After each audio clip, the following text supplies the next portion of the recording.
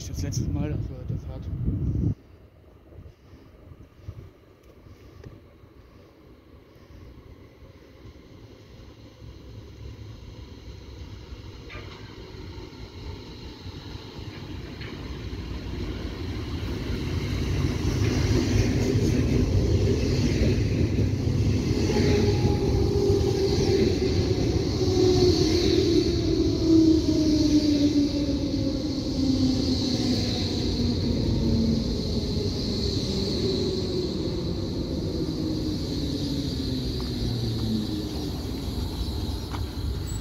Fahrgästen auf Gleis 4. Diese